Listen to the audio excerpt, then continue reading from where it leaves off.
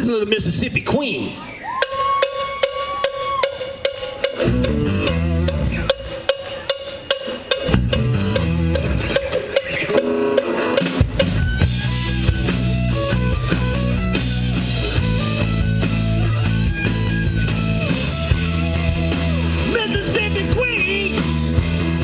Do you know what I mean?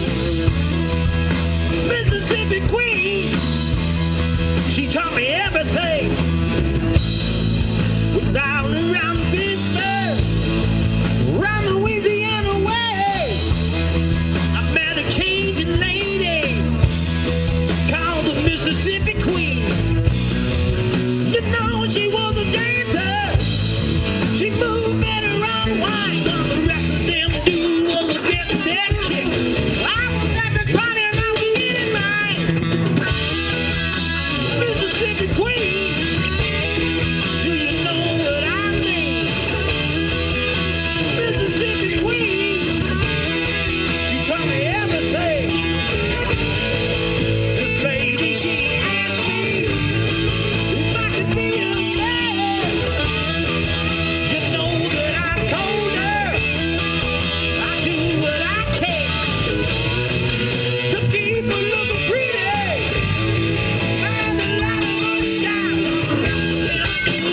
get that shit.